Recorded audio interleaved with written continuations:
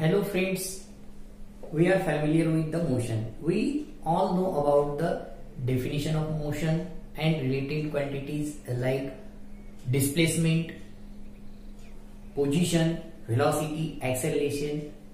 So question is that how to describe the motion or how to study the motion of an object.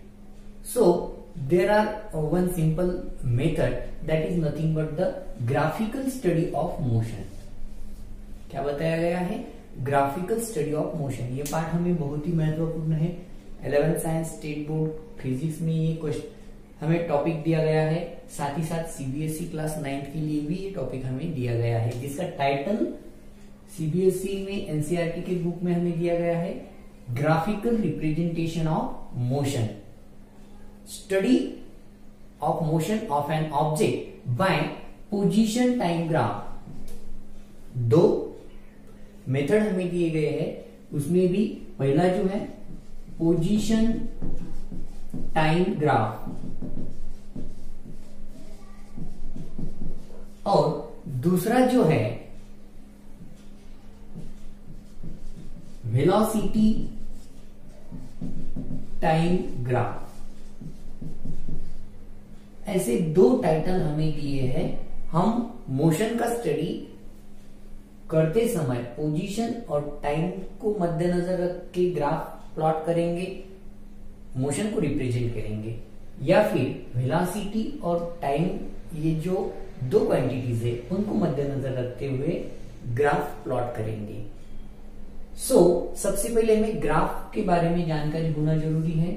जैसे कि basic जो points है graph से related वो आपको तो पता ही है फिर भी हम यहाँ पे रिकॉल करेंगे। सो दोस्तों देखो, ये यहाँ जो पॉइंट्स हम निकाल रहे हैं ओरिजिन है। इसे हम ओ ये लेटर से हाईलाइट करेंगे इंडिकेट्स करेंगे। यहाँ मैं एक हॉरिजॉन्टल लाइन ड्रॉ कर रहा हूँ। इसे हम कहेंगे एक्स एक्सिस क्या कहेंगे हम इसे? एक्स एक्सिस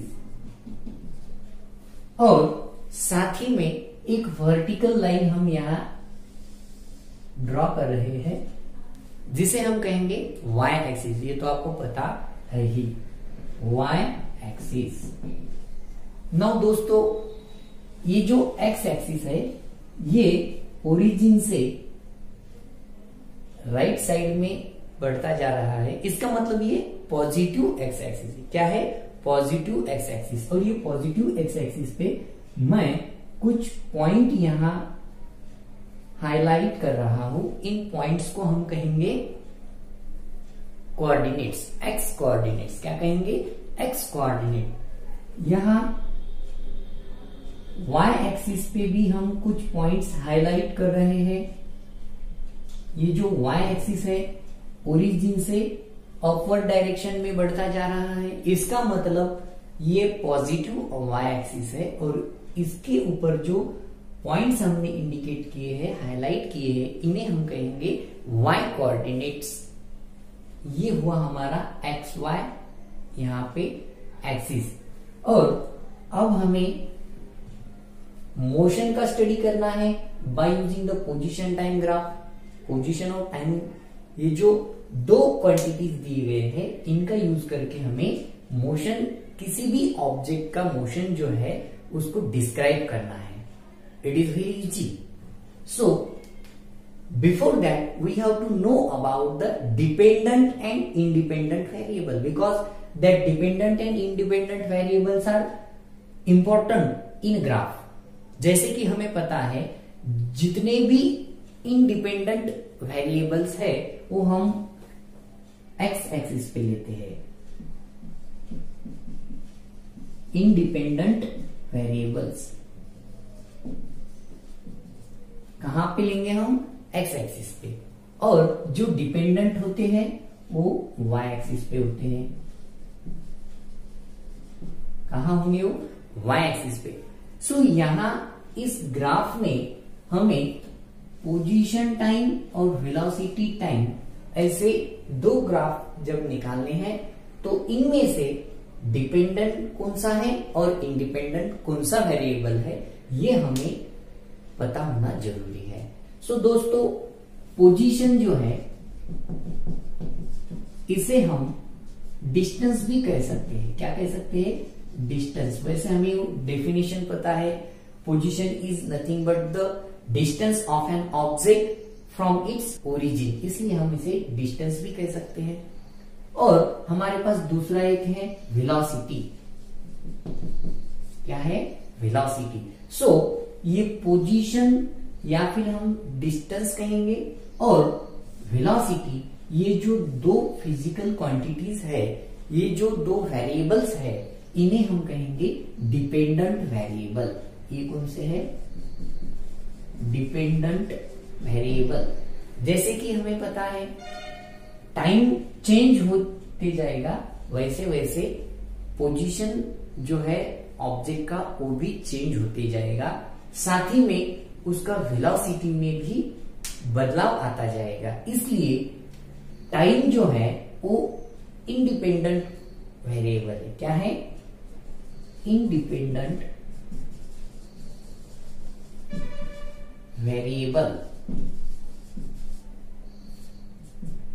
टाइम और ये जो दो दिए हैं हमें पोजीशन और वेलोसिटी ये है डिपेंडेंट वेरिएबल सो जब हम पोजीशन टाइम ग्राफ यहाँ पे स्टडी करेंगे तो इसमें हमें ध्यान में रखना है ये जो पोजीशन या फिर डिस्टेंस है ये हमें वाई एक्सिस पे लेना है और जो टाइम है वो एक्स एक्सिस पे हमें लेना है। सो so, दोस्तों हम यहाँ सबसे पहले पोजीशन टाइम ग्राफ यानी कि distance time graph of an object which is in motion ये स्टडी करेंगे। सो so, दोस्तों when we take position on y axis and time on x axis we got the position time graph simply यानी कि यहाँ position against time हमने लिया है। यानी कि पोजीशन y एक्सिस पे लिया है और टाइम एक्स एक्सिस पे लिया है। कहा लिया है टाइम एक्स एक्सिस पे। टाइम बढ़ता जाएगा हाईलाइट कर रहे हैं हम एरो इंडिकेट कर रहे हैं यहाँ पे। और यहाँ पे हम लेंगे पोजीशन जो अपवर्ड बढ़ता जा रहा है। अब यहाँ पोजीशन टाइम ग्राफ में कुछ कंडीशंस हमें दिए गए हैं। जैसे कि ऑब्जेक्ट एट अ रेस्टेड यानी कि एन ऑब्जेक्ट पहला कंडीशन लिखेंगे दोस्तों हम।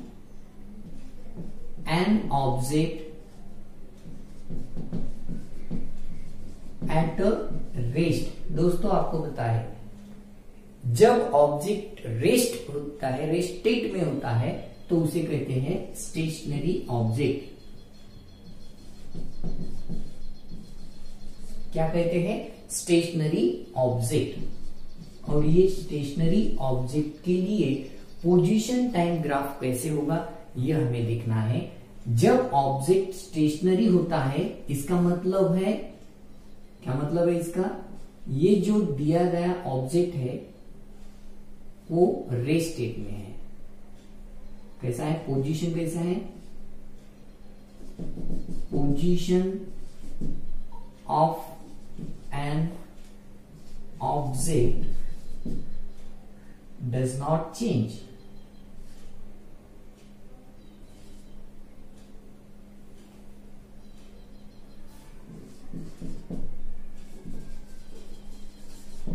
object का पोजीशन चेंज होगा क्या?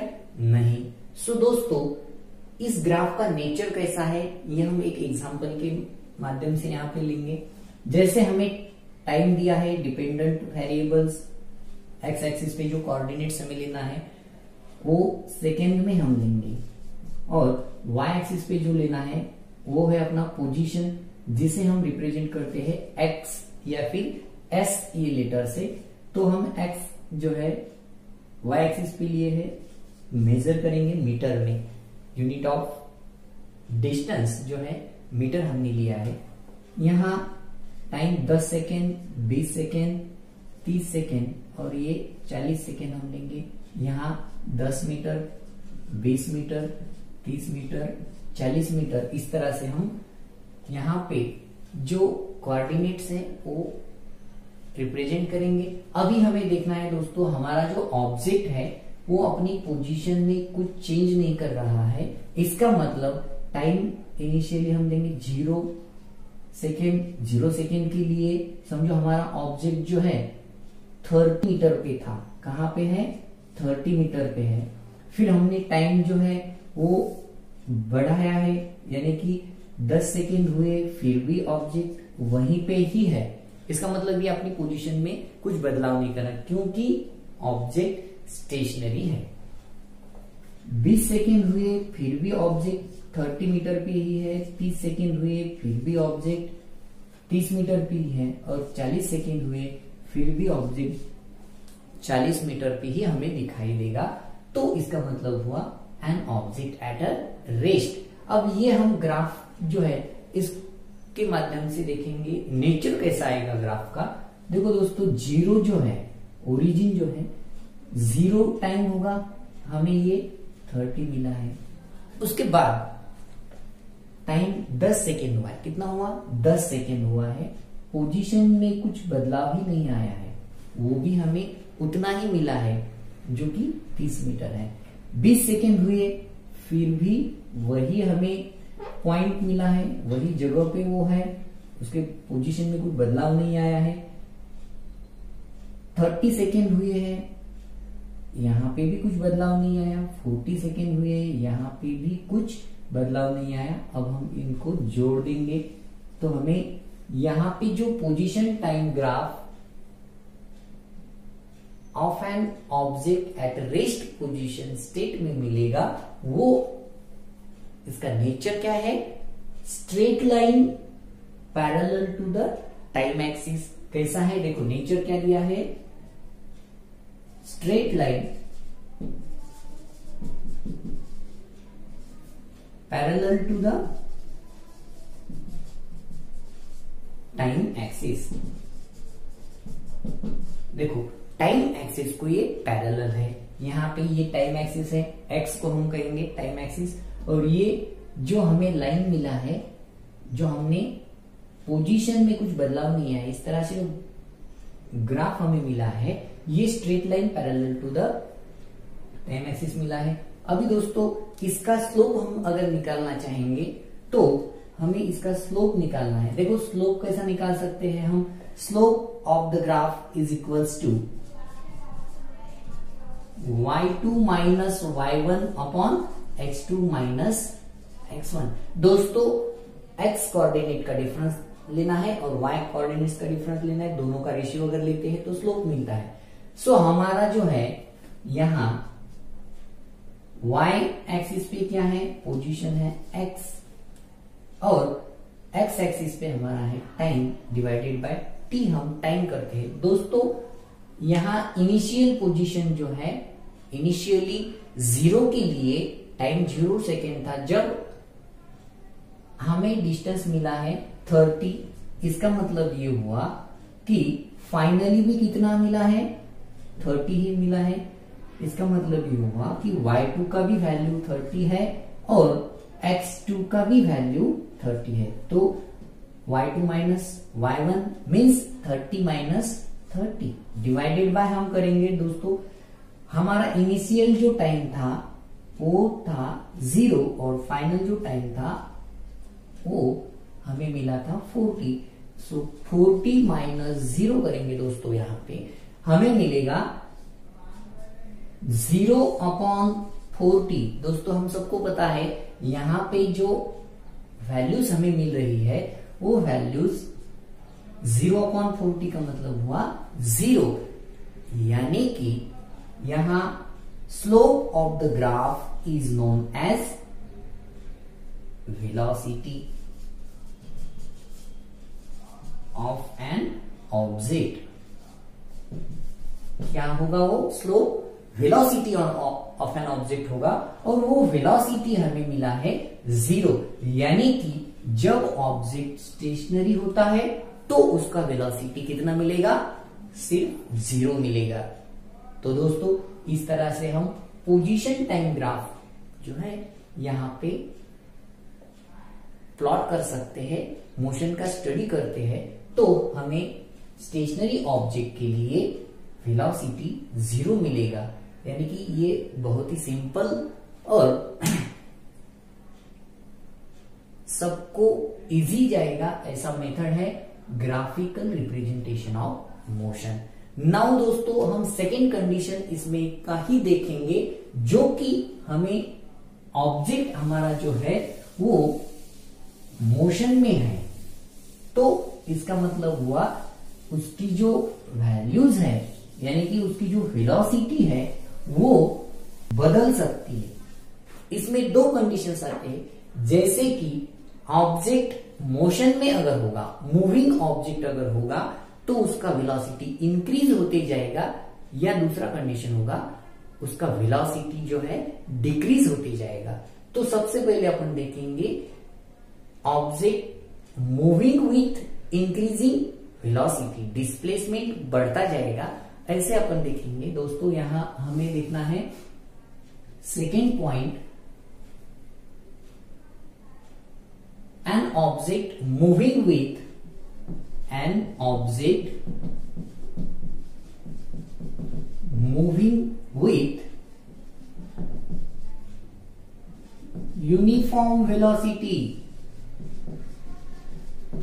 so दोस्तों यूनिफॉर्म वेलोसिटी का डेफिनेशन आपको पता है जब कोई ऑब्जेक्ट यूनिफॉर्म वेलोसिटी में होता है तो उसका मोशन होता है यूनिफॉर्म कैसा मोशन होगा उसका? यूनिफॉर्म और ये यूनिफॉर्म मोशन जो है, ये पोजीशन टाइम ग्राफ पे कैसे रिप्रेजेंट कर सकते हैं, ये अब हम देखेंगे। दोस्तों, सबसे पहले हम रिकॉल करेंगे यूनिफॉर्म वेलोसिटी को। यूनिफॉर्म वेलोसिटी का जो डेफिनेशन हमें दिया है, यानी कि हमारा जो पहला पॉइंट है उसमें हम रिप्रेजेंट करेंगे change in equal distance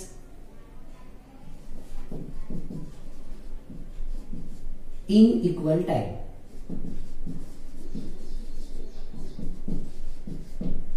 जब ऑब्जेक्ट मोशन में आता है तो इक्वल इंटरवल ऑफ़ टाइम में इक्वल डिस्टेंस कवर करता है तो उसका वेलोसिटी यूनिफॉर्म होता है मोशन भी यूनिफॉर्म ही होगा।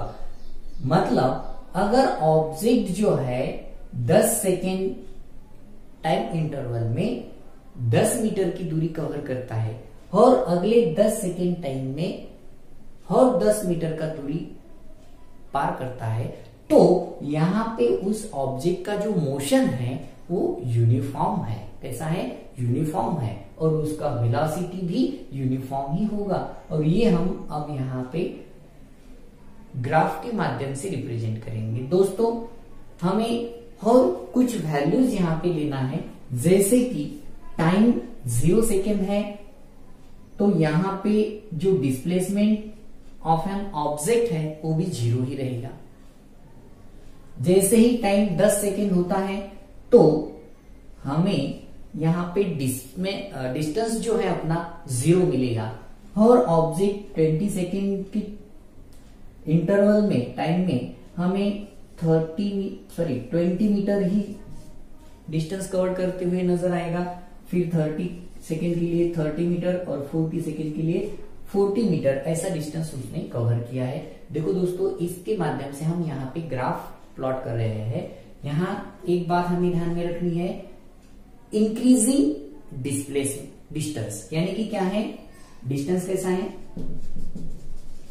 डिस्टेंस इंक्रीजेस डिस्टेंस जो है इंक्रीज होते जा रहा है। देखो ज़ीरो ज़ीरो, यानी कि टाइम का वैल्यू ज़ीरो है डिस्टेंस का वैल्यू भी ज़ीरो दिया है। टाइम दस सेकेंड हुआ है डिस्टेंस भी दस मीटर हुआ है। उसके बाद टाइम ट्वेंटी सेकेंड हुआ है डिस्टेंस भी जो है ट्वेंटी मीटर हुआ है। और टाइम थर्टी सेकेंड हुआ है, यहाँ पे डिस्टेंस थर्टी मीटर हुआ है, टाइम फोर्टी सेकेंड हुआ है, डिस्टेंस 40 मीटर हुआ है। अब हम इस पॉइंट्स को जोड़ देंगे। इस तरह से हमें वो ग्राफ मिला है। दोस्तों, इस ग्राफ का जो नेचर है, वो अगर हम देखते हैं तो straight line passing through the origin क्या मिला है? Nature of the graph is straight line passing through origin कैसा मिला है? Straight line passing through the origin now इस ग्राफ से हम अगर स्लोप निकालते हैं, क्या निकालते हैं?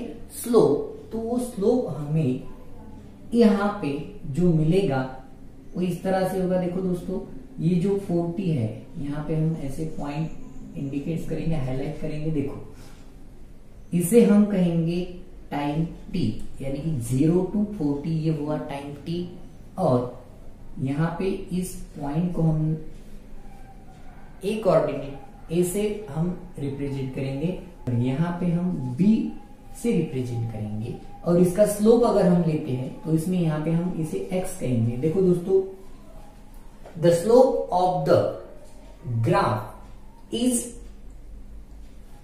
magnitude of the velocity. क्या आएगा? Magnitude of the velocity. देखो, हम यहाँ पे लिखेंगे slope of the graph is magnitude of the velocity of an object that is देखो, अभी हम यहाँ पे स्लोप अगर निकालते हैं तो वो हमें मिलेगा।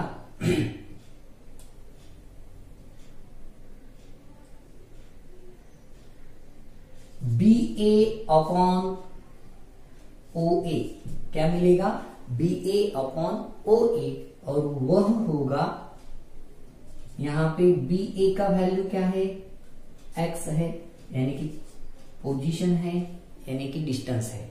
और ओ ए जो है वो टाइम टी दिया गया है तो इसे हम कहेंगे स्पीड क्या कहेंगे हम इसे? Speed because it is a magnitude of velocity of an object दोस्तों, यहाँ पर जो हमें डिस्टेंस में जो चेंज दिखाई दिया है, वो इंक्रीजिंग था, यानी कि पॉजिटिव था. कैसा था? पॉजिटिव था. इसलिए ये जो स्लोप हमें मिला है, ये पॉजिटिव मिलेगा। कैसा मिलेगा पॉजिटिव। दोस्तों, इसके अंदर ही दूसरा एक कंडीशन है, सिर्फ़ हमें यहाँ पे एक बात ध्यान में रखनी है, ये जो डिस्टेंस है, वो हम लेंगे डिस्टेंस जो है, वो हम लेंगे decreasing the distance is decreasing और डिस्टेंस अगर डिक्रीज होता है तो ये स्ट्रेट लाइन होगा, मगर पासिंग थ्रू द ओरिजिन नहीं होगा, उसका नेचर हम देखेंगे। देखो दोस्तों, अभी हमें चेंज करना है वैल्यूज़। टाइम जो है, ज़ीरो है। यहाँ पे डिस्टेंस जो दिया था, वो 40 मीटर का है। टाइम 10 सेकेंड का हुआ है तो हमें डिस्टेंस जो है 30 मीटर का मिला है। 20 के लिए 20 मिला है, फिर यहाँ पे टेन मिला है, फिर लास्ट में ज़ीरो मीटर मिला है। दोस्तों, यहाँ पे आपके ध्यान में आएगा डिस्टेंस धीरे धीरे क्या हो रहा है? डिक्रीज हो रहा है, कम हो रहा है। तो ये नेचर ऑफ़ द ग्राफ यहाँ पे चेंज हो जाएगा, जो कि हमें, जो कि हमें क्या मिलेगा? पहले ग्राफ से अलग मिलेगा थोड़ा सा तो हम देखते हैं। Time t is equals to T is equals to zero है। और X is equals to forty है। देखो, यहाँ पे आएगा पहला पॉइंट हमारा। दूसरा जो है दोस्तों टाइम 10 सेकेंड का हुआ है और जो डिस्टेंस है, वो 30 मिला है। कितना मिला है? 30 यहाँ पे आएगा देखो दोस्तों। उसके बाद टाइम 20 सेकेंड हुआ है और यहाँ हमें उसका जो डिस्टेंस है, वो भी 20 मिला है। टाइम 30 सेकेंड हुआ है, फिर यहाँ पे हमें वो 10 मीटर मिला है और लास्ट में टाइम 40 सेकेंड हुआ है और ये जो हमारा डिस्टेंस है, वो ज़ीरो हुआ है। और ये ग्राफ का जो नेचर है दोस्तों, इस तरह से हमें उसके उल्टा मिला है। यहाँ पे भी हम जो पॉइंट्स ले रहे हैं, वो स्लोप हमारा एक्स अपॉन टी ही रहेगा। और इसे हम कहेंगे पॉइंट बी इसे पॉइंट ए कहेंगे. बी अब यहाँ पे हम करेंगे बी ओ अपॉन ए ओ ठीक है? तो वो भी हमें क्या मिलेगा? एक्स अपॉन टी ही मिलेगा. और यहाँ पे जो स्लोप मिला है, वो डिक्रीजिंग होने की वजह से जी हमें कैसा मिलेगा? निगेटिव मिलेगा. नॉन ज़ीरो मिलेगा मगर निगेटिव मिलेगा. क्योंकि 40 से ज़ीरो तक आया है. X2 का वैल्यू हमें ज़ीरो है. और x1 का वैल्यू जो है, यानी कि इनिशियल डिस्प्लेसमेंट 40 था और फाइनल जो था वो ज़ीरो था। ज़ीरो माइनस फोर्टी बोले तो माइनस फोर्टी आएगा। माइनस फोर्टी अपॉन अगर हम कोई भी नंबर लेंगे तो वो हमें क्या मिलेगा? निगेटिव ही वैल्यू मिलेगा। कैसा मिलेगा? निगेटिव वैल्यू सो दोस्तों, ये था हमारा यहाँ पे an object moving with uniform velocity uniform motion के लिए हमने ग्राफ प्लॉट किया था। अब हम करेंगे वेरिएबल वेलोसिटी के लिए। इसलिए variable velocity an object moving with variable velocity जब वेलोसिटी वेरिएबल होता है तो जब वेलोसिटी वेरिएबल होता है तो यहाँ पर जो हमें मोशन मिलेगा, वो एक्सरलेटेड होगा। यानी कि मोशन में जो है बदलाव आते जाएगा। जैसे जैसे वेलोसिटी में चेंज होगा, हमें पता है एक्सेलेशन का डेफिनेशन क्या है? Change in velocity per unit time यानी कि वेलोसिटी जैसे जैसे बदलती जाएगी, वैसे वैसे यहाँ की जो मोशन है ऑब्जेक्ट का, वो भी चेंज होता जाएगा। एक्सेलेशन भी चेंज होता जाएगा। सो दोस्तों, वही करना है हमें। और एक बार हम यहाँ पे देखेंगे हमारा जो ग्राफ है, वो ऑब्जेक्ट विथ वेरिएबल वेलोसिटी यानी कि it does not does not change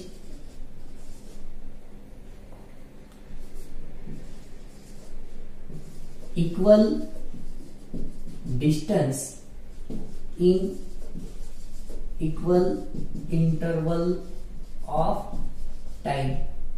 बराबर है दोस्तों? तो ग्राफ का नेचर कैसा आएगा? देखो, सबसे पहले हमें वैल्यूज़ लेना है कोऑर्डिनेट्स लेने हैं और उसके माध्यम से ग्राफ प्लॉट करना है। ज़ीरो था टाइम ज़ीरो के लिए हमें यहाँ पे डिस्टेंस भी ज़ीरो मिला है। और यहाँ हमें जो है वैल्यू दस सेकेंड के लिए फाइव मीटर इतना ही मिला है, दस सेकेंड के लिए कितना मिला है? फाइव मीटर फिर बीस सेकेंड के लिए हमें मिला है, बीस सेकेंड के लिए हमें पंद्रह मीटर इतना मिला है। उसके बाद थर्टी सेकेंड के लिए हमें ये मिला है ट्वेंटी टू मीटर और फोर्टी के लिए हमें मिला है ये थर्टी मीटर ऐसे हमने देखा है, यहाँ पे जो डिस्टेंस है, वो वेरिएबल है। टाइम तो सेम है, इसका मतलब ये हुआ इक्वल इंटरवल ऑफ़ टाइम में इक्वल चेंज नहीं हो रहा है।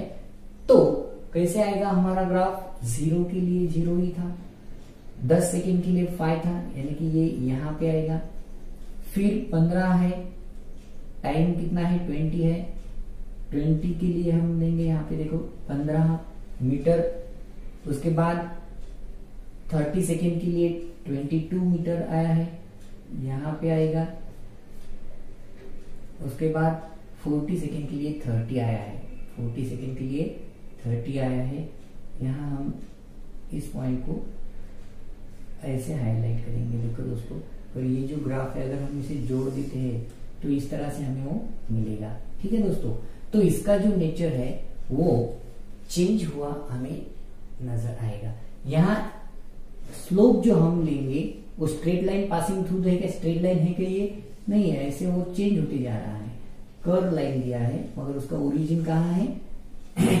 सेंटर पे ये ओरिजिन जो है ओरिजिन से ही वो ग्राफ स्टार्ट हो रहा है। यहाँ पे हम देंगे ए बी सी और ये जो हमारा पॉइंट है डी इसका अगर हम स्लोप लेते हैं slope of the graph represent average velocity average velocity that is del x upon del t changing velocity upon changing time देखो, ये टाइम इंस्टेंट को यहाँ पे हमने लिया है तो वैसे ग्राफ मिला है, हम यहाँ पे अगर लेते हैं तो भी हमें ग्राफ जो यहाँ का यहाँ का, और यहाँ अगर हम ऐसे करेंगे तो यहाँ का। ऐसे स्लोप हम अलग अलग जगह पे अगर लेते हैं तो एवरेज वेलोसिटी हमें मिलेगा। क्या मिलेगा? Average velocity next condition is an object performing oscillatory motion.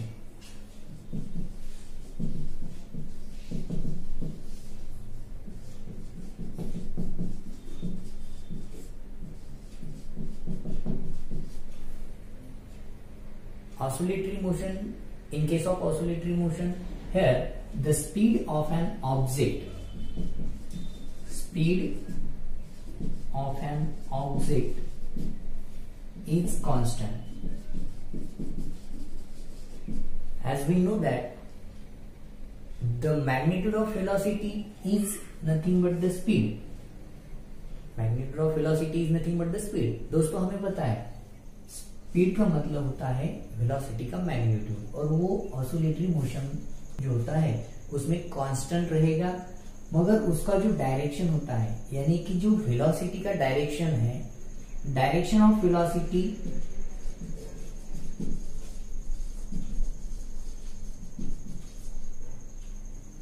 positive and negative. Sometime it will be positive sometime it will be negative यानी कि कभी कभी वो पॉजिटिव भी हो सकता है कभी कभी वो निगेटिव भी होता है। यहाँ हमें जब वेलोसिटी पॉजिटिव निगेटिव मिलती है, इससे ऐसे ध्यान में आता है कि ये जो डायरेक्शन चेंज होता है, इसका मतलब डिस्टेंस जो है, वो इंक्रीज होता है। और डिक्रीज भी होता है। क्या होता है? डिक्रीज भी होता है। जब डिस्टेंस डिक्रीज होता है तो हमें डायरेक्शन ऑफ़ वेलोसिटी निगेटिव मिलेगा। और जब डिस्टेंस इंक्रीज होता है तो हमें डायरेक्शन ऑफ़ वेलोसिटी पॉजिटिव मिलेगा। ग्राफ के माध्यम से हम इसे देखेंगे रिप्रेजेंट करेंगे कि ये ऑसोलेटरी मोशन के लिए ऑब्जेक्ट के ग्राफ कैसा होगा। तो देखो, यहाँ टाइम है ज़ीरो सेकेंड और डिस्टेंस जो है वो थर्टी मीटर है। यहाँ पे ये पॉइंट आएगा। ग्राफ हम प्लॉट कर रहे हैं। Time and position. Time 10 second दिया है। डिस्टेंस 40 मीटर यहाँ पे मिला है। तो वो यहाँ इस जगह पे आएगा। Now in next fix interval of time 20 second for 20 second distance is 30 meter. For 20 second distance is 30 meter. That is the point is here.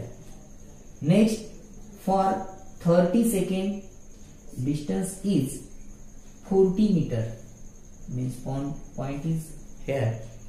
And lastly for 40 second distance is 30 meter. So if we join this point and plot the graph that graph is looks like this and this nature of the graph is nothing but the zigzag कैसा nature है वो zigzag nature है displacement बढ़ता गया positive velocity मिला है बराबर है दोस्तों यहाँ डिस्टेंस कम हुआ है निगेटिव वेलोसिटी मिला है यहाँ हर पॉजिटिव वेलोसिटी मिला है, यहाँ हर निगेटिव वेलोसिटी मिला है, और जो स्पीड है, वो हमें कांस्टेंट ही मिलेगा।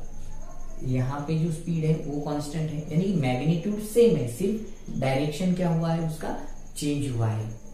ग्राफ के माध्यम से इस तरह से हम मोशन का स्टडी करते हैं, कर सकते हैं दोस्तों।